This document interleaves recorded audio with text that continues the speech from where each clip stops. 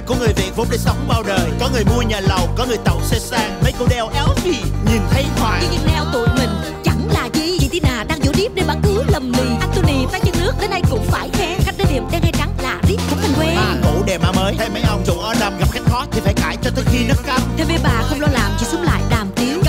thiết huynh đệ là mấy ông rủ làm biến làm hoài thấy cung ngực nhưng mà bò thì nó nhàm bởi một tuần bốn chữ số đâu ai dám cầm ràm làm nghề này thì phải dậy lúc bữa đói bữa no nhưng khi chơi là phải quậy có gì đâu mà lo ai vui vui vui